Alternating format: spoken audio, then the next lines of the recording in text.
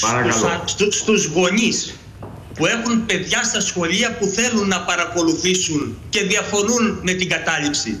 Τι έχετε να τους πείτε; Δεν έχω να τους πω τίποτα. Έχω να τους πω ότι πρέπει να παλέψουν για να είναι 15 Δεν θέλουν να δουλειές παλέψουν, στην τάξη, διαφωνούν με την ώστε κατάληψη. να έχουν. Ώστε, μα, μα εσείς είσαστε και εκφραστής των πάντων.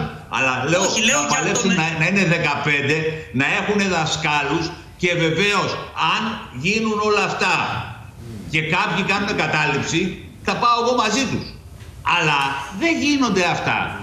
Δεν γίνονται αυτά. Το αντίθετο βλέπω ότι πιέζουν γονείς ή δεν ξέρω τι γονείς είναι αυτοί, ποιοι γονείς είναι αυτοί, να προσπαθούν να μπουν με περίεργο τσαμπουκά και να σπάσουν ξέρω εγώ τη μορφή αγώνα που έχουν επιλέξει οι μαθητές.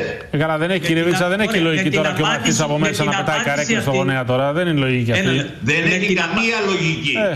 Αλλά αυτό καταλάβετε τι κοινωνία φτιάχνουμε.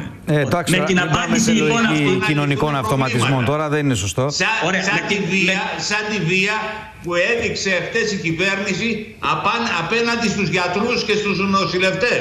Μην αλλάξουμε Χειροκροτήστε κουβέντα. τους τη μια φορά, Ακούστε. βαράτα τους την άλλη. Κύριε Με την Σαλμά, μια απάντηση- κουβέντα με να την- Μια ολοκληρώσουμε. κουβέντα. Με την απάντηση που μου έδωσε ο κύριος Βίτσας, άπαντες κατάλαβαν ότι ο κύριος Βίτσας υποκινεί τις καταλήψεις. Ε, στηρίζει τουλάχιστον, δεν ξέρω τώρα αν υποκίνε. Στηρίζει. Όχι, είπε, είπε λέει στους γονείς των παιδιών που διαφωνούν με τις καταλήψεις να πάνε να κάνουν καταλήψεις.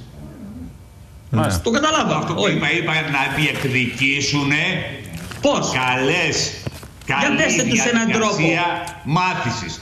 Τώρα αν Πέστε με τους έναν χρήσετε, τρόπο. κύριε Εσείς Σαλμά, ξέρετε από- εμένα από- να αρχηγό των καταλήψεων σε όλη την ε, Ελλάδα, εντάξει δεν ξέρω. Λοιπόν, την σας καλημέρα ευχαριστώ μας και πολύ τους για δύο.